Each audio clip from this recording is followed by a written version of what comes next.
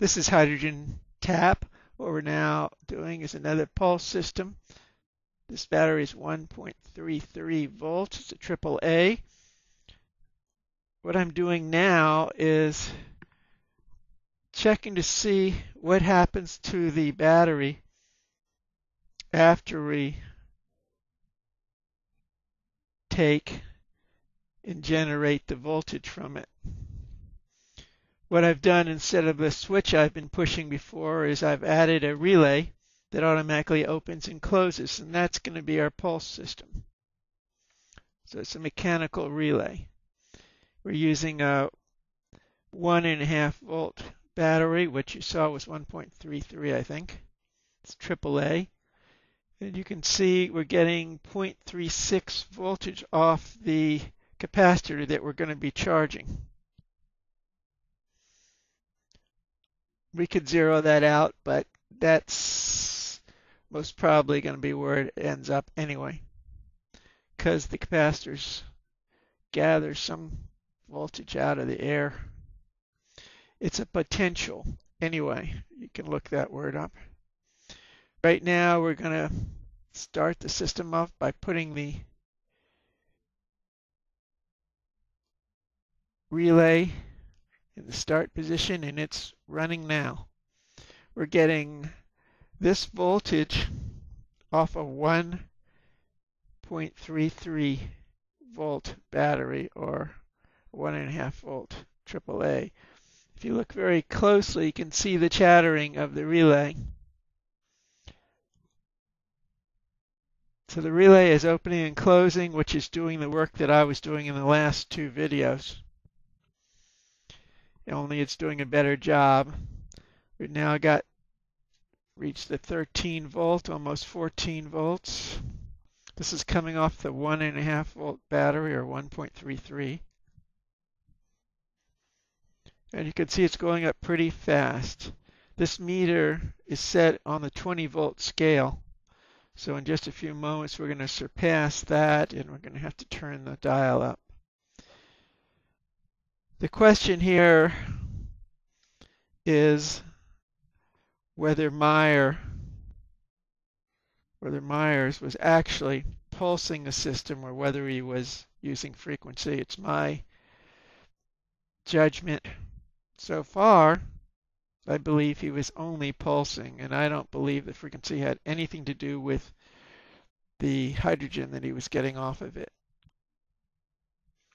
You can see there's a little capacitor there, which is slowing down the chatter or the amount of time it takes to open and close the relay. Right now we're at almost 19 volts. There we go.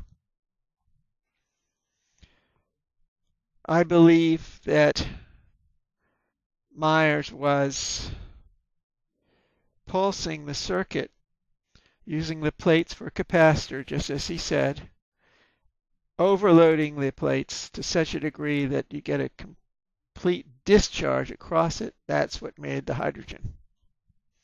So right now what I'm doing is checking to see what you can do with this pulsing system. So in fact, we've taken the pulsing system away from the circuit itself.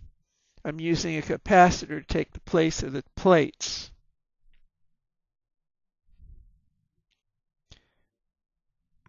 What this test is to do is to see what is going to be left in that 1.33 volt battery when we're through here.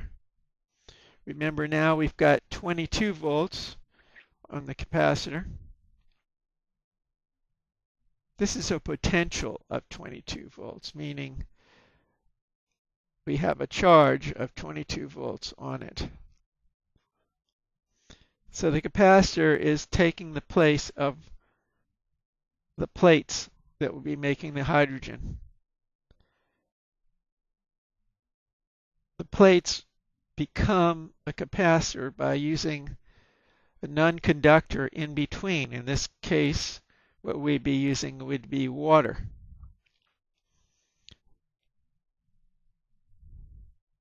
So while everyone's trying to put some kind of electrolyte in the water to make it so that the electricity goes across the plates, Meyers is pulsing the plates turning it into a capacitor, having a potential difference between the two plates, which eventually builds up to such a degree you get a discharge. Okay, we've stopped the system, and what we're going to do is take a reading on that 1.33 volt battery.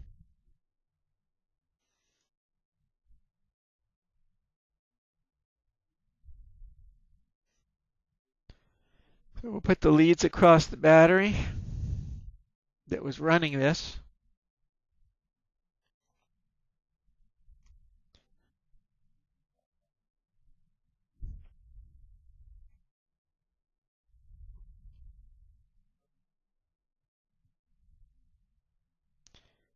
and we've got 1.29. I believe we had 133 before. It's going to go up a few in a few seconds because the battery's got to recover from its use. So it's between 129 and 130 and it was 133 before. So 1.33.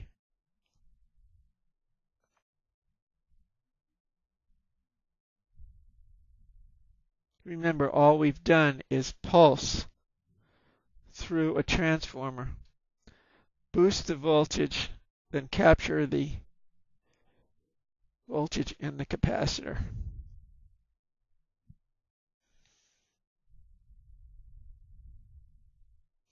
And if you look there, you can see the voltage in the capacitor, the potential in the capacitor is 22.70. So about 22 volts. We've lost about 3 volts in the battery. We've gained 22 volts in the capacitor.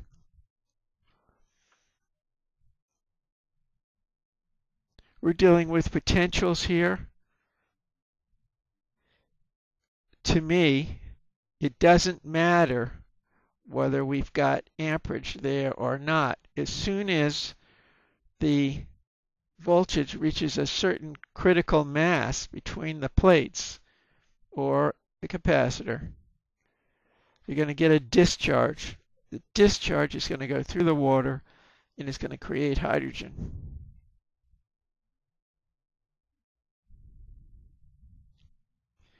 You can see we've got 22.2 volts in the capacitor. Eventually capacitors leak voltage. Eventually the voltage will disappear. Just so someone can't tell you the voltage won't do any work or isn't worth anything, I'm going to put this 12 volt relay. You can see the size of this relay. I'm going to put it across that capacitor. Remember, we've only lost point what three.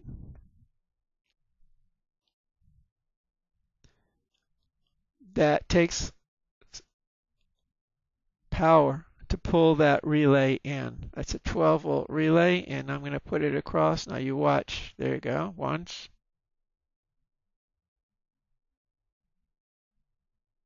Actually, we did it twice. So it pulled in that 12 volt relay. That was work that that voltage performed.